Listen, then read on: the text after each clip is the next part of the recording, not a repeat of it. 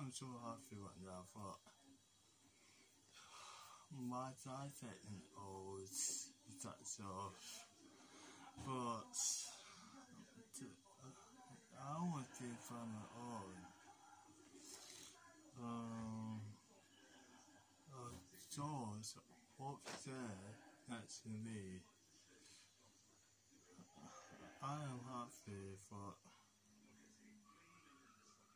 I want to find anything from my own into thing in my painting. But